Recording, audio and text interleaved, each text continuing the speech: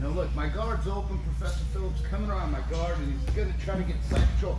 This really never happens ever. But look, he got here, okay? I begin to frame, I make his arm uncomfortable, I stretch him out here, he pulls my hand, I, I, out, and I begin to recompose my guard and so forth, okay? The key to what I was doing was I was beginning to frame right here and trap, trap his arm, okay? He's gonna move, okay? And I begin to move out here and begin to reestablish my position, okay? So now when we reverse it commonly, when I have Professor Phillips guard, right?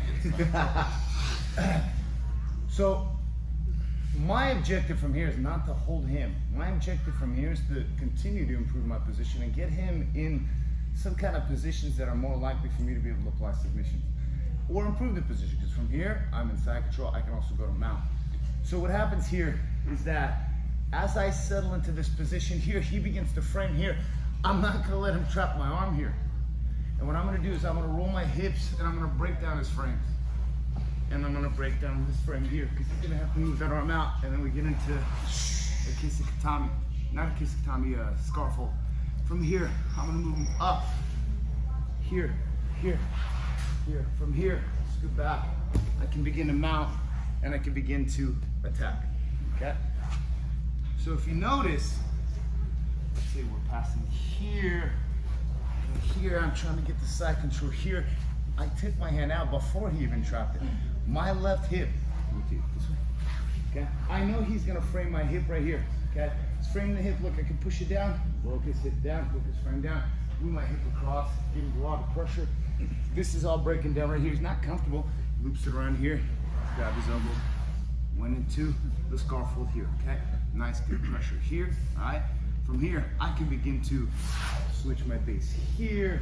I can reverse my base, I can. I can even come back here, okay? But he's probably gonna want an underhook. Now let's see if I give up an underhook here. Now I have the kesa gatame, okay, which is common in judo, okay? What I'm doing here, I know a lot of you guys, I assured you to grab the leg, but I want you to scoop the head, okay?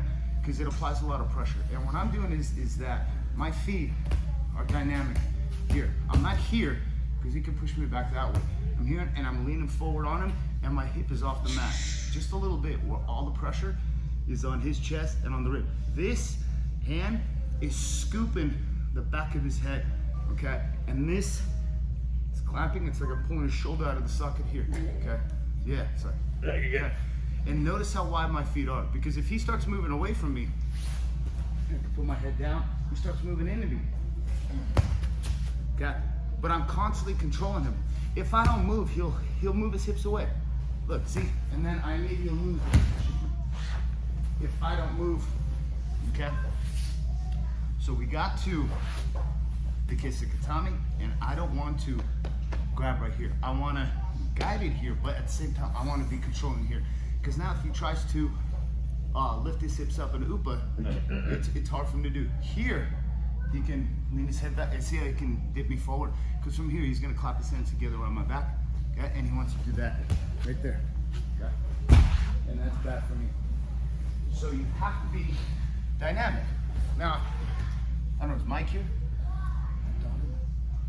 No?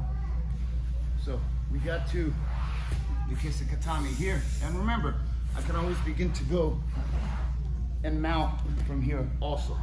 But what we're gonna do is, we're just gonna talk about the kesa gatame position so you have control. You see how he's doing the right thing, he's properly framing here.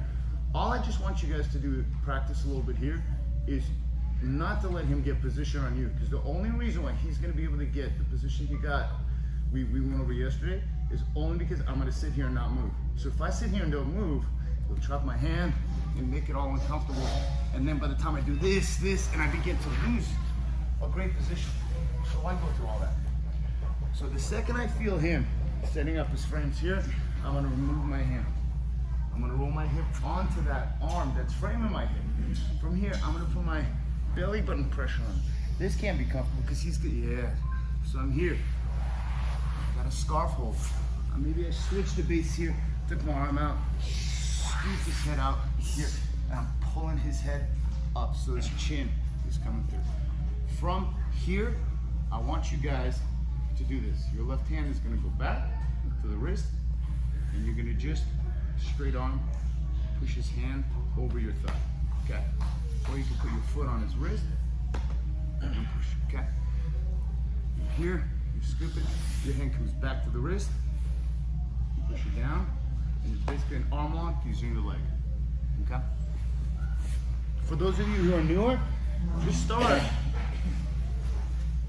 with the head control. Everybody can just start with the head control, but I just want you to be dynamic over here and pulling the head, okay? I'm not sitting necessarily on my butt. I'm actually using, my butt's about half an inch off the mat and all the pressure's on his chest, on his ribs, okay?